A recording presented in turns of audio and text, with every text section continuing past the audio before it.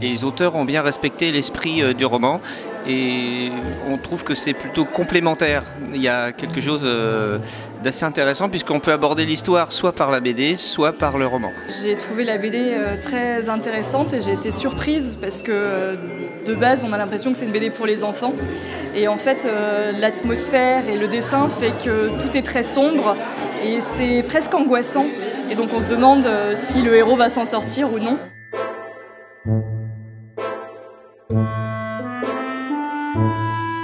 Personnage.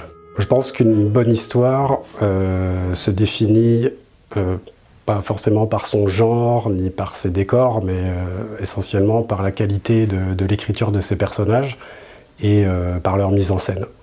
Et Stéphane et moi, on était assez d'accord sur ce point et on s'est concentré avant tout sur ben, la construction des personnages. Et je dirais que le, le dessin, le décor, l'ambiance, c'est pas une formalité, mais disons que si les personnages sont bien campés et bien réussis, euh, bien écrits, c'est une bonne partie du travail qui est réalisé. Adaptation. Là, on s'adresse plus aux lecteurs et aux lectrices qui, ont lu le, roman d'Evelyne, euh, Le Manoir, et euh, pour leur dire qu'on a adapté euh, leur roman, c'est-à-dire qu'on est allé euh, puiser dans cette, dans cette matière et euh, qu'on a développé notre point de vue sur, sur l'histoire de départ. Et donc, il y aura des choses fidèles, il y aura de la nouveauté, de la création, et je pense que c'est une bonne chose de ne pas être dans un, dans un copier-coller du roman. On, on, travaille sur une adaptation BD, donc il y a des choses qui vont fonctionner en BD qui ne fonctionnent pas en roman. Et euh, bah, ma foi, j'espère que les choix euh, qu'on a faits euh, au scénario et au dessin conviendront aux lecteurs fidèles du manoir. Jeunesse. Je voulais parler du dessin jeunesse. moi, j'ai dessiné le manoir en pensant aux jeunes lecteurs que j'étais. Je voulais pas que les dessinateurs soient dans la retenue graphique par rapport à moi. Je voulais être pris au sérieux en tant que, en tant que jeune lecteur.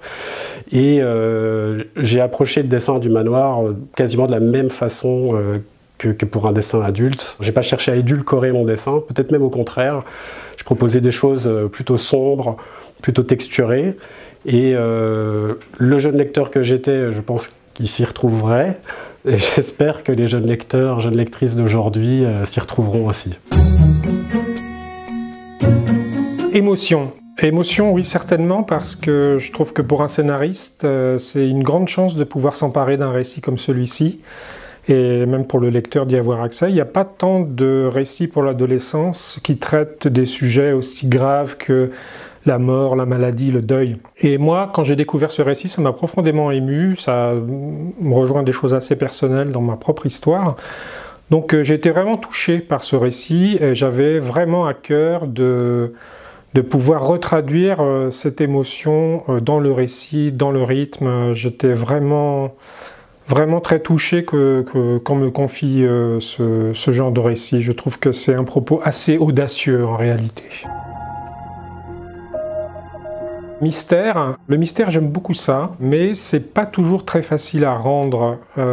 et pour ça, il me fallait un bon partenaire un bon partenaire au dessin et euh, j'étais persuadé que euh, dans un univers où euh, on est aussi beaucoup dans le, monologue intérieur, le doute, la pensée, etc., il fallait quelqu'un qui saurait soutenir véritablement toutes ces choses-là par un dessin qui saurait l'exprimer. Et je connaissais bien le travail de Raphaël et il était tout indiqué pour rendre cette atmosphère de mystère véritablement.